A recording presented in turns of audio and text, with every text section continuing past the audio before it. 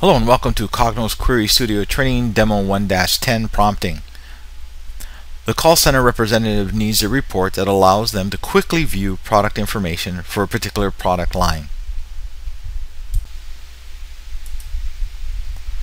Ahead and expand product and then hold the control and click on product line, product type, product name description, and introduction date and product image.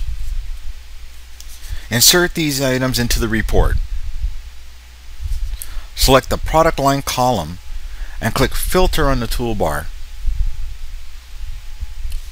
Check the checkbox and click OK. You'll notice that the unsatisfied product line prompt filter at the top of the report. Click Run to test that prompt. Go ahead and select Golf Equipment and click Finish. You'll notice that the product line prompt filter now appears at the top of the report.